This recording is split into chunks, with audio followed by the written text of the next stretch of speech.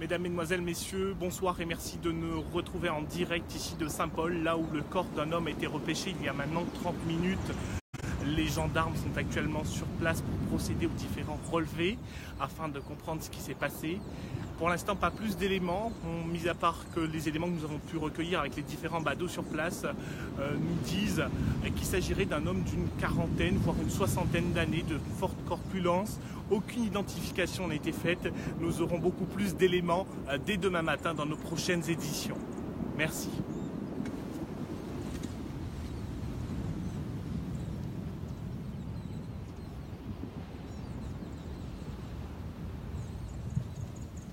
On vous rappelle, nous sommes encore en direct pour quelques secondes du front de mer de Saint-Paul, de la rue euh, Jacot, là où un homme a été euh, repêché cet après-midi.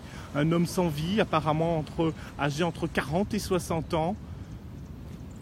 Nous aurons beaucoup plus d'éléments dès demain matin dans notre prochaine édition et ce soir sur le site internet de Radio Freedom.